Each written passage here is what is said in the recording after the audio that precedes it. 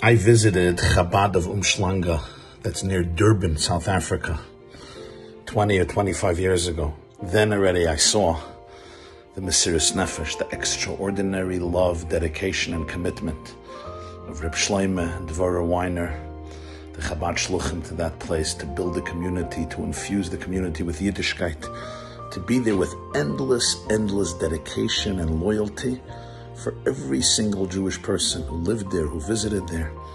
And today, 30 years later, they celebrate so much, so endless, endless, endless achievements in Torah, Vaidik Melos Chasadim. Please help them continue and grow this holy work to transform lives.